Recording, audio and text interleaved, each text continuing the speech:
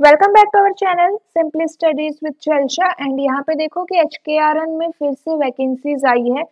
तो इस बार आपके 103 जो यहाँ पे uh, 103 पोस्ट पे क्या आई है? वैकेंसीज आई है। डिफरेंट डिफरेंट पोस्ट है यहाँ पे। तो देखते हैं हम यहाँ पे कौन कौन सी पोस्ट पे वैकेंसी निकली है।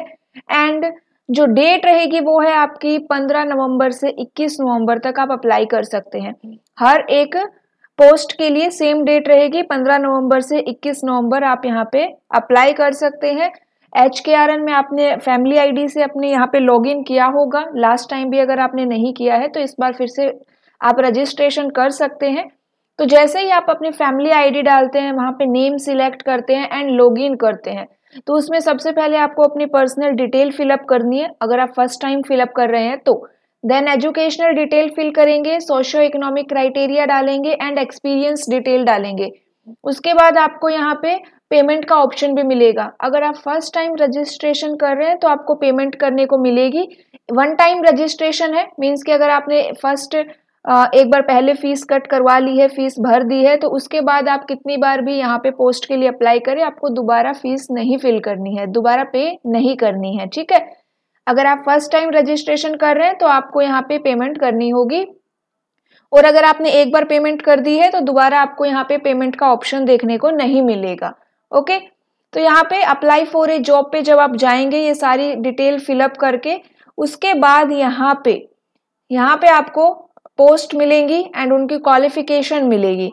तो ये क्वालिफिकेशन आप देख लीजिएगा, आप कौन सी पोस्ट के लिए एलिजिबल है। तो पीआरटी के लिए वैकेंसी आई है।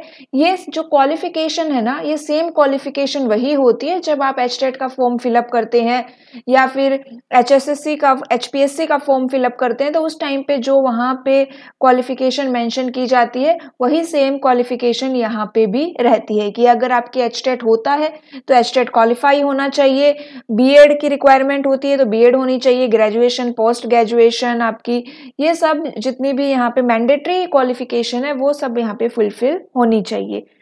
तो यहाँ पे प्राइमरी टीचर पीआरटी के लिए वैकेंसीज है। उसके बाद देखिए आर्ट एजुकेशन असिस्टेंट है। ये इसकी क्वालिफिकेशन है यहाँ पे। Junior engineer draftsman junior programmer legal assistant उसके बाद यहाँ पे pharmacist assistant architect assistant lineman accountant yoga instructor draftman foreman shift attendant radiographer staff nurse और हाँ आप एक से ज़्यादा पोस्ट के लिए भी अप्लाई कर सकते हैं। अगर इनमें से आप एक से ज़्यादा पोस्ट के लिए एलिजिबल है तो आप यहाँ पे अप्लाई कर सकते हैं, ठीक है? Staff nurse lab technician junior engineer उसके बाद यहाँ पे टीजीटी की भी वैकेंसीज है। सोशल साइंस में आई है। साइंस में है।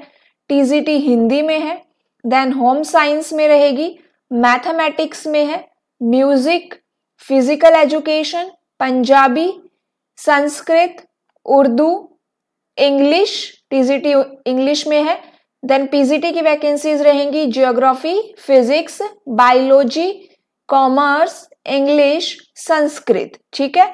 Mathematics economics political science history Hindi ayurvedic pharmacist homeopathic उसके अलावा यहाँ पे है private assistant for general manager for managing director programmer जैसे अगर यहाँ पे आप प्रोग्रामर पे क्लिक करते हैं प्रोग्रामर के ऊपर अगर आपको फिलअप करना है और यहाँ पे आप इन सबको क्या कर रहे हैं क्वालिफिकेशन को फुलफिल करते हैं तो आप यहाँ पे अप्लाई पे क्लिक कर सकते हैं, ठीक है? जैसे ही आप यहाँ पे अप्लाई पे क्लिक करेंगे तो देखिए यहाँ पे यहाँ पे क्या लिखा हुआ आएगा? कॉन्ग्रेचुलेशन अप्लाइड सक्सेसफुली ठीक है? क्योंकि जो प्रोग्रामर है, इसके लिए कोई एच नहीं होता है, कोई स्लेट नहीं होता है तो कोई भी इंफॉर्मेशन अदर इंफॉर्मेशन आपको फिलअप नहीं करनी है। ये जो क्वालिफिकेशन है, ये ऑलरेडी आपने फिलअप कर दी थी तो इसीलिए आप डायरेक्टली अप्लाई कर पाए। अगर जैसे कि अगर आप टीजीटी के लिए अप्लाई करेंगे तो वहाँ पे आपको एच की इन्फॉर्मेशन फिलअप करनी होगी। जैसे ही आप उसके ऊपर अप्लाई पे क्लिक करेंगे, देखो मैं आपको दिखाती हूँ। अकाउंट्स असिस्टेंट है assistant draftsman superintendent deputy superintendent shift attendant planning assistant technician then आपके यहाँ पे लाइब्रेरी प्रोफेशनल असिस्टेंट है सेम डेट रहेगी। 15 नवंबर से 21 नवंबर तक आप यहाँ पे अप्लाई कर सकते हो। डेट एक्सटेंड नहीं होती है ये। लेबोरेटरी टेक्नीशियन है उसके अलावा नर्सिंग ऑफिसर है, ये सारे जो भी पोस्ट है, यहाँ पे आप नाम देख सकते हैं कि कौन कौन सी पोस्ट है, किसके लिए क्या क्वालिफिकेशन रखी गई है। शिफ्ट अटेंडेंट है। उसके अलावा यहाँ पे असिस्टेंट इंजीनियर है electrical mechanical supervisor IT then यहाँ पे field technician circle head draftsman field technician और यहाँ पे कौन कौन सी पोस्ट है?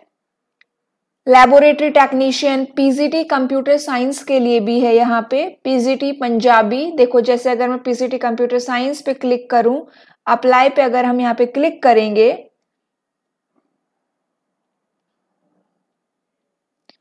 तो यहाँ पे आपको क्या मिलेगा? पीजीटी पंजाबी भी है पीजीटी सोशियोलॉजी में भी वैकेंसीज है यहाँ पे। उसके बाद आपको यहाँ पे अपनी इंफॉर्मेशन फिलअप करनी है। आपका एस्टेट क्वालिफाइड है या एस्टेट उसके बाद रोल नंबर क्या रहेगा? मार्क्स ऑप्टेंट कितने हुए? टोटल मार्क्स कब पास हुआ था? रिज़ल्ट डेट क्या रही थी? यहाँ पे पीडीएफ फ़ाइल आपको अपलोड करनी है एंड उस पीडीएफ का साइज़ 200 के बी होना चाहिए, ठीक है? या उससे कम होना चाहिए। देन आप यहाँ पे सबमिट पे क्लिक करेंगे तो आप इस तरह से हम क्या कर सकते हैं? अप्लाई कर सकते हैं। बाकी यहाँ पे देखो सोशोलॉजी होम साइंस है साइकोलॉजी है chemistry Urdu fine arts music physical education office assistant laboratory assistant junior technical assistant तो यहाँ पे टोटल 103 पोस्ट है, ठीक है? तो ये यहाँ पे पोस्ट है। डेट क्या रहेगी? 15 नवंबर से 21 नवंबर तक। उसके अलावा कई, काफ़ी टाइम पे यहाँ कभी कभी यहाँ पे स्पेशलाइज्ड कैटेगरीज में भी आ जाती है, जिनकी salary higher than thirty thousand होती है। तो अभी फ़िलहाल ऐसी कोई वैकेंसी नहीं है। वो भी आती है तो वो यहाँ पे शो होती है। उसके अलावा जो एंटरप्राइजेज है कंपनीज़ है, उसमें कोई वैकेंसी होती है तो वो भी यहाँ पे शो होती है। वैकेंट जॉब्स ओवरसीज तो वो भी यहाँ पे शो होती है। फ़िलहाल नहीं है। क्लोज हो चुकी है डेट लास्ट डेट क्या थी? पंद्रह नवंबर ही थी। ठीक है? तो ये सारी आपकी डिटेल रहेंगी कि कौन कौन सी पोस्ट यहाँ पे है। टोटल 103 पोस्ट रहेंगी। उसके बाद यहाँ पे कोई इंटरव्यू नहीं होगा। जैसे ही आप अप्लाई करेंगे तो यहाँ पे क्या होता है कि आपका एक स्कोर कार्ड जनरेट होता है। स्कोर कार्ड के बेसिस पे जो भी इसमें सिलेक्ट होता है, उनको मैसेज मिलता है फ़ोन पर या ईमेल पर। तो उसके थ्रू इनको इन्फॉर्म किया जाता है कि आपका सिलेक्शन हुआ है।